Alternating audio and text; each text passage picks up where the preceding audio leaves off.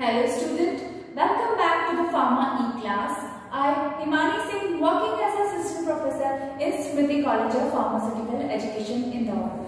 So, in the previous video, you already know about the method of estimation of complexation. So today, I am going to discuss about what is the protein binding and what are their applications. Here, the meaning of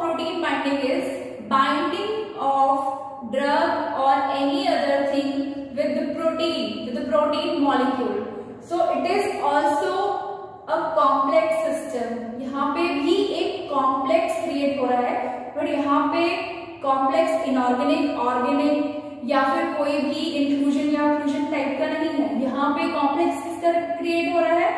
या तो किसका create हो रहा है? Drug plus protein which is present in our body जो हमारी body में already present है राइट right? उन दोनों के बीच वो एक कॉम्प्लेक्स क्रिएट हो। रहा है so the phenomena of complex formation of a drug with a protein is called as a protein binding of drug protein binding of drug किसी भी ड्रग की प्रोटीन बाइंडिंग या हम हम कोई भी एक ड्रग अपनी बॉडी में ले रहे हैं, अगर हम कोई भी ड्रग इनटेक कर रहे हैं बॉडी में तो हमारी बॉडी में जो प्रोटीन प्रेजेंट है या कुछ जो मैक्रोमोलिक्यूल्स प्रेजेंट है इन बॉडी में, उसके साथ binding binding of this drug it is called protein binding so यहाँ पे जैसा हमने कॉम्प्लेक्स में भी देखा था, हमारा जो मेटालाइन रहता है एंड देन हमारा लिगेंड रहता है, उसके बाद हमारा एक कॉम्प्लेक्स क्रिएट होता है। तो same as here we have protein and drug then it form a protein drug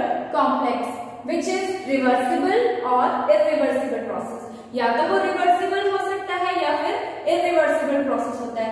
Reversible to having a hydrogen bond having a weak bond Waals forces या फिर कोई भी जो हमारे जो फोर्सेस है, वो उनकी वजह से अगर हमारा इंटरेक्शन जो है वो वीक हुआ है तो वो रिवर्सिबल प्रोसेस होगी।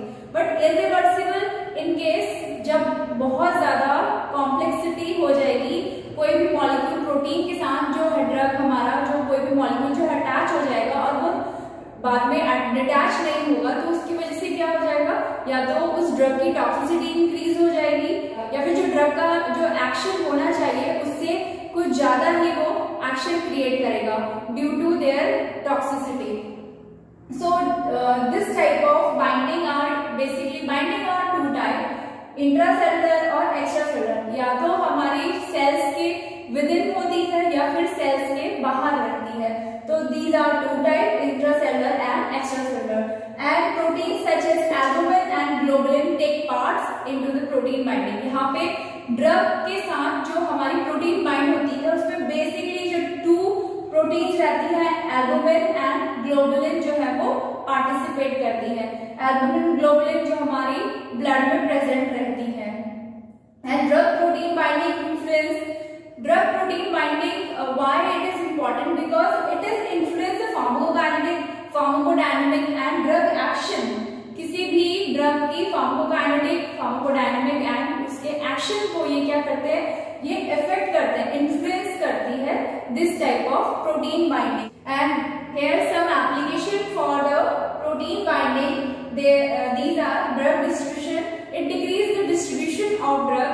कब जब कोई भी मॉलिक्यूल uh, ड्रग के साथ अटैच हो जाएगा तो वो डिस्ट्रीब्यूशन जो है वो कोई भी ड्रग जो है वो प्रोटीन के साथ अगर बाइंड हो जाएगी तो उसका जो डिस्ट्रीब्यूशन है, वो क्या हो जाएगा? वो हिंडर हो जाएगा डिक्रीज हो जाएगा। क्यों? क्योंकि वो अवेलेबल ही नहीं होगा डिस्ट्रीब्यूट करने के लिए।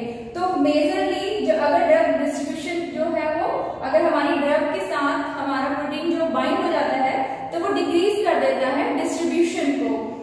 And the next one is metabolism it also decrease metabolism and enhance biological half life ये मेटाबॉलिज्म को भी डिक्रीज कर देता है जब हमारी ड्रग अवेलेबल ही नहीं है मेटाबोलाइज करने के लिए जब वो प्रोटीन के साथ बाइंड हो गई है और जब वो मेटाबोलाइज होने के लिए अवेलेबल ही कम है देन उसका जो मेटाबॉलिज्म है वो भी डिक्रीज हो जाता है and enhance biological half life excretion it also decrease renal excretion of the drug ये रीनल एक्सक्रीशन को भी डिक्रीज कर देता है क्यों बिकॉज़ ऑफ़ जब जब जो हमारी जो ड्रग है वो अवेलेबल ही नहीं है ज़्यादा प्रोटीन के साथ बाइंड हो चुकी है तो वो एक्सक्रीट भी डिक्रीज मतलब एक्सक्रीट भी कम होती है। So it decrease also renal excretion next one is the drug action protein binding inactivate the drug क्योंकि जब प्रोटीन के साथ अगर हमारी ड्रग बाइंड हो गई है तो वो क्या करती है? ड्रग के एक्शन को भी इनएक्टिवेट कर देती है तो जो कुछ एक्सटेंट तक वो इनएक्टिवेट कर देती है जिसकी वजह से हमारी जो ड्रग है वो इनएक्टिव फॉर्म में हो जाती है कंपेरेटिवली एक्टिव फॉर्म में next one is sustain release it is act as a reservoir और continuously supply of a free drug यहाँ पे है अगर हमारी ड्रग जो है, हमारी प्रोटीन के साथ बाइंड होके अगर वो इनएक्टिव हो गई है तो वो लॉन्ग टर्म के लिए हमारी बॉडी में स्टेबलाइज है बॉडी में प्रेजेंट है। तो वो क्या करेगी? It is act as a reservoir reservoir की तरह वो एक्ट करेगी और फ्री ड्रग की अगर वो कम कम पे पे अगर वो फ्री होती रहेगी तो वो हमारा रिलीज़ भी सस्टेन रिलीज़ में भी हेल्पफुल रहेगी।